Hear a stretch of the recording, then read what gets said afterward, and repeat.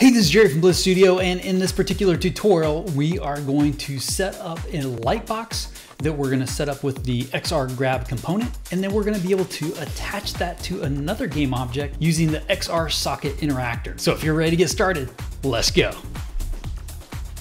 Okay, so here I am in Unity. I want to set up an XR Grab component. So I'm gonna add this box that we can then attach to this light pole to then make this light work. So for us to do this, let's go ahead and first make this box an interactable object that we can then grab and pick up. I want to have it fall to the ground and then we'll be able to pick it up and then attach it. So for us to be able to do that, the first thing we need to do is to make this an XR grab component. So I add that component and it adds a rigid body. So with this rigid body, first we need to make sure that the collision detection is set from discrete to become continuous dynamic. All right. Then down in the XR grab interactable component, you can see that we have a bunch of different options here. One is we want to go ahead and smooth position and smooth rotation.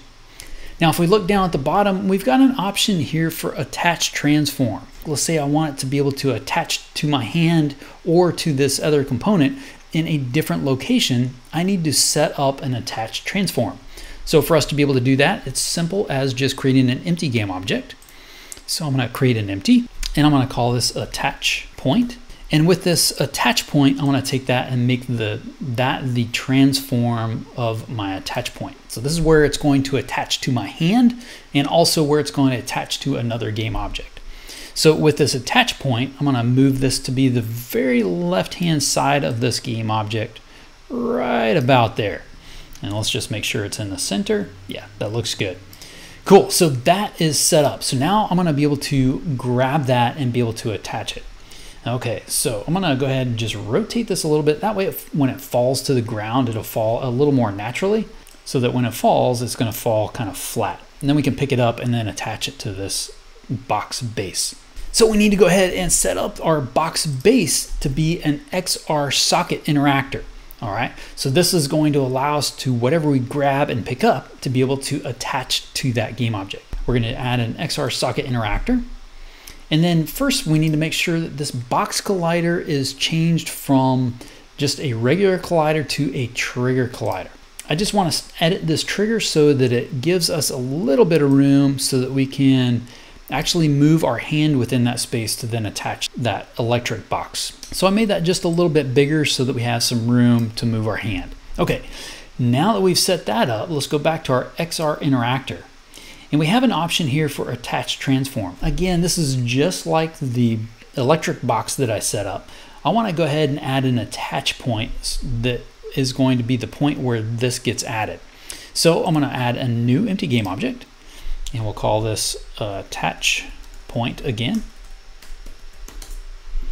And then I'm going to change the location of this attach point. I want to have it to be the very right hand side of this. That way those two points will connect together.